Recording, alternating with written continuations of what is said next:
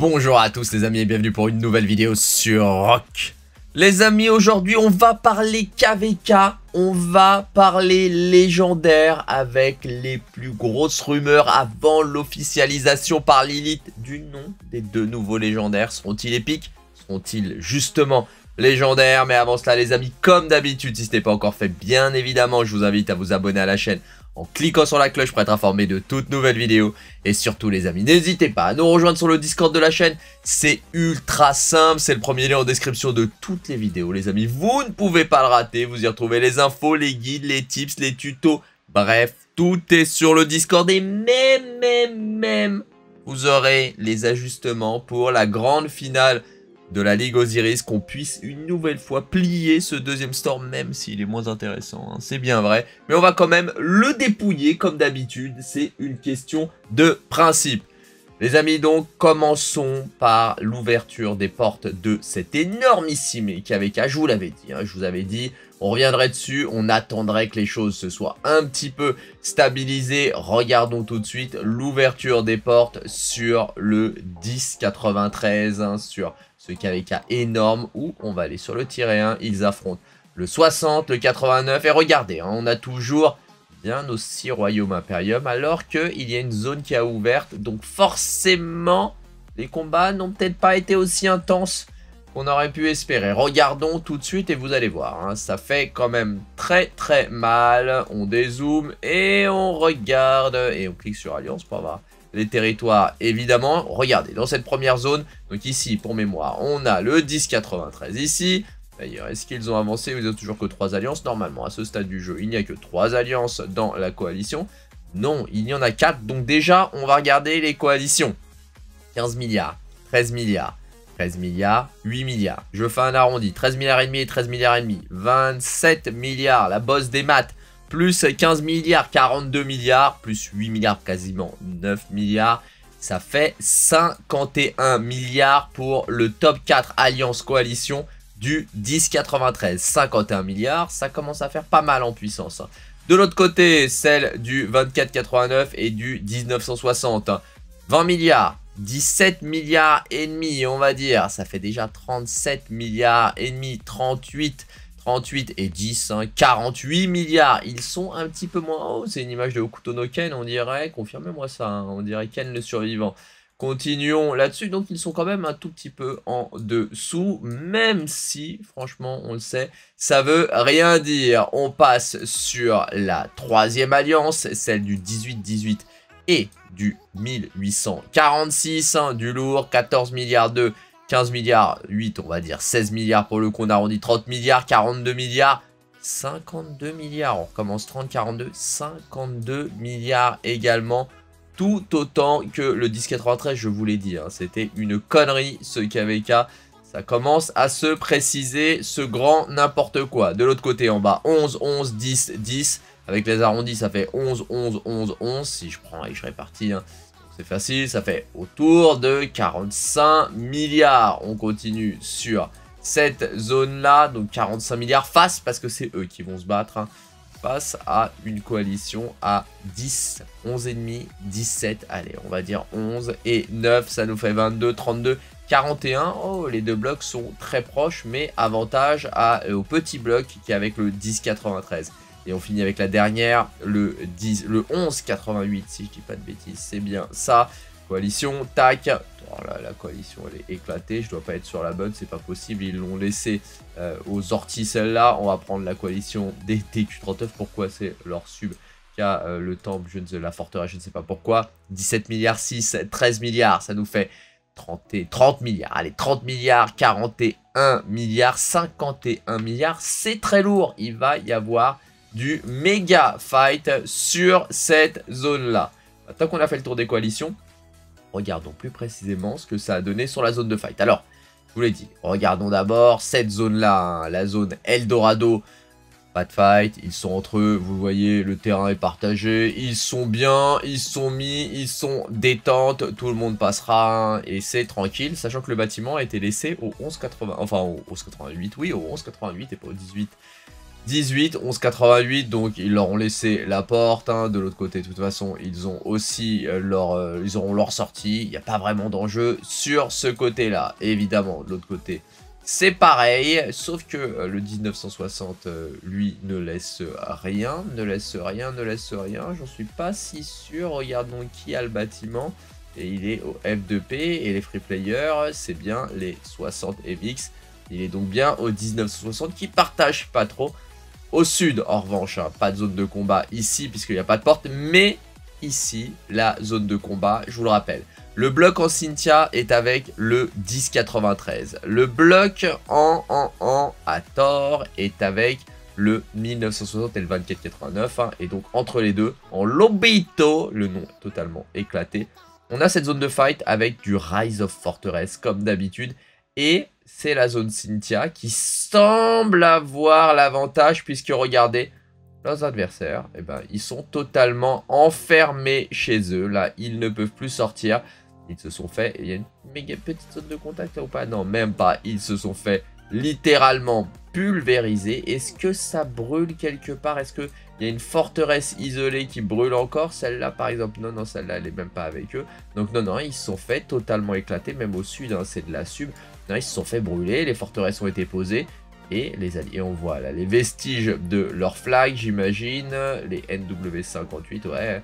Ils se sont fait totalement pulvériser. Donc, pour le moment, pour le moment, la petite sub, les petites subs qui sont avec le 1093, hein, ont l'air bien plus puissantes puisqu'ils les ont totalement enfermés très rapidement. Ils leur ont roulé dessus. Pas de surprise de ce côté-là euh, pour euh, le 1093 qui a l'air d'avoir eu les meilleurs alliés en low. On vérifie, il n'y a pas de, pas de surprise. Ils sont bien ici, les Gondor. Ça va être très intéressant à suivre. Et regardez, j'ai quelques petites screens, quelques petites stats à vous montrer. Des stats qui font plaisir. Regardez ça, les, euh, le C1 2218, le kill point hein, du, du camp haut sur l'ouverture des portes. Hein, on le voit hein, à la bonne date. 19 hein. milliards pour le camp haut et on est à 17 milliards 6 pour le camp euh, bois, le camp euh, forêt. Je ne sais pas comment le traduire euh, ce camp. Donc on le voit. Petit avantage quand même en termes de pertes. ça fait plaisir sur ce KVK, sur ce C1 1278. Mais ce qu'il va falloir suivre, c'est bien évidemment la suite, ce que ça va donner. On a une deuxième petite stat. Bon, quand même, le camp haut a perdu, euh, en fait, plus euh, de kills. Hein, c'est normal, ce qu'on tête, mais que de 2 milliards, c'est pas non plus un truc de ouf. Et si on regarde une autre petite stat, hein, la répartition par royaume, on voit bien que c'est le 29-28 et le 23-87 hein, qui sont très loin devant tous les autres petits royaumes. Franchement, gros respect à eux. Très, très gros combat sur cette zone-là. Je m'attendais pas à autant de fights. Je pensais qu'on aurait un petit statu quo. Mais non, finalement, euh, là, gros avantage à l'alliance du 1093 au camp haut. On continue les amis et on sort de ce KVK cette fois pour parler nouveau commandant épique, légendaire. Quelle va être la petite surprise faite par Lilith? Regardez en fin de leur vidéo sur la mage, hein, ils nous ont publié ce screen avec deux commandants qui nous dit deux nouveaux commandants et talents arrivent bientôt dans le jeu.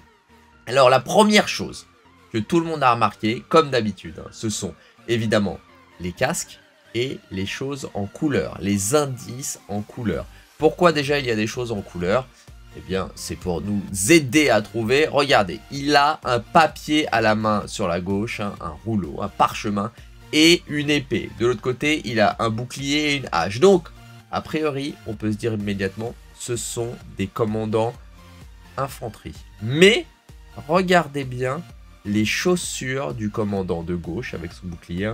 Il a des éperons, comme si ça allait être de la cavalerie. Ça, c'est vraiment étonnant peu de commandants hein, ont des éperons comme ça. Et aucun commandant, il me semble, hein, carrément aucun, n'a de parchemin à la main. Sauf un, un et un seul. Évidemment, il s'agirait de Périclès. Donc, dans les rumeurs, il se dit que le commandant de gauche est peut-être Périclès Prime. Alors moi, je serais surpris que ce soit Périclès Prime parce que Périclès, déjà, il a jamais vraiment combattu, et en plus, surtout, il est très récent comme commandant, donc avoir ce commandant en épique, alors qu'il vient que de sortir, en, enfin en légendaire, alors qu'il vient que de sortir, il est très récent en épique, je serais très surpris. Ensuite, au niveau du second commandant, on a l'indice du casque, je pense en dessous, hein. c'est une barbe, le truc éclaté qu'on voit en ombrage, donc casque avec sa petite moustache dessus, sa barbe ou une méga moustache et le bouclier avec un lion dessus. Alors, ça peut pas être Richard Cœur de Lion, on l'a déjà. Ça peut pas être un commandant, je pense, cavalerie, mais il y a les éperons. Donc, il y a plusieurs pistes à ce stade. Déjà, n'hésitez pas à me dire votre avis en commentaire. Lilith va officialiser ça très vite. Voici les pistes en cours données par la communauté. Déjà, tout le monde parie sur des commandants, soit infanterie, soit cavalerie. Ensuite, au niveau des pistes, regardez. Déjà, comme je vous l'ai dit, hein, Périclès pour le commandant de gauche. Certains disent qu'à droite, pour le commandant de, droite, certains disent qu'à droite, c'est Périclès Prime, et à gauche, c'est un commandant épique. Donc ça serait des commandants un petit peu euh, low cost hein, quand même. Encore une fois, c'est ce sur quoi parie la communauté. Mais il y a d'autres pronostics évidemment plus ou moins fiables. Regardez, certains disent, à cause du bouclier, il s'agirait de Jean de Montmirail. Alors je serais très surpris hein, que ce soit Jean de Montmirail. Pourquoi ça ne serait pas lui? Déjà, Jean de Montmirail, il avait euh, une, il n'avait pas de méga moustache, hein, comme on l'a sur le skin. Ensuite, il avait bien un bouclier, le même, hein, un bouclier avec le lion, mais il n'avait pas une hache, il se battait à l'épée. Mais c'est vrai, c'est vrai.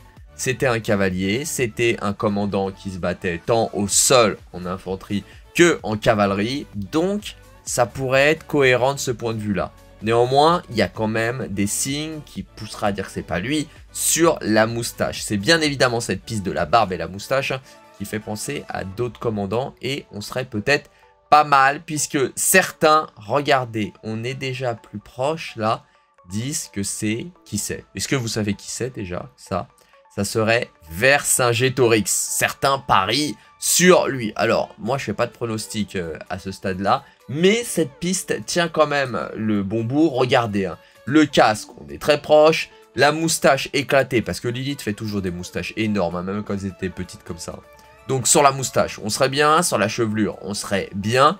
Là où on n'est pas bien, c'est sur les armes. Jamais combat à la hache, hein, pour Vercingétorix. Pas d'éperon, c'était pas un cavalier non plus. Hein. Donc là, je suis plutôt sceptique. Sinon, pour le reste, ça colle pas mal. Hein.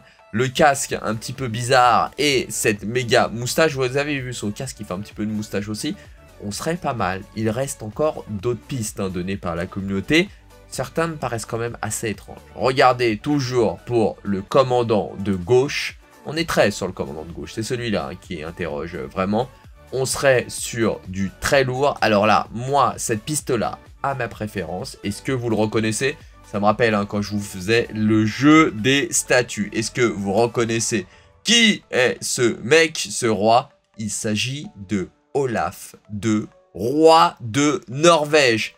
Et effectivement, ça collerait. Alors c'est plutôt viking, on peut dire comme époque, même si la Norvège c'est pas vraiment tout à fait les vikings, mais en tout cas ça renforcerait ces commandants-là. Est-ce que ça sera un commandant épique ou légendaire? De mon point de vue, c'est deux légendaires. Il n'y a aucun épique euh, dans l'eau, et là ça serait, encore une fois, un commandant soit leadership, soit infanterie. C'est tout à fait possible qu'on soit sur la piste d'un commandant infanterie. Il reste bien évidemment une piste actuellement donnée par la communauté. Alors celle-là, je ne sais pas d'où elle sort. Les mecs qui ont eu cette idée-là, je l'ai vu plusieurs fois. Je ne sais pas du tout qui a sorti ce scénario et pourquoi. Ça serait pour le commandant, encore une fois, hein. toujours le même, mais celui de... Enfin, toujours le même, non.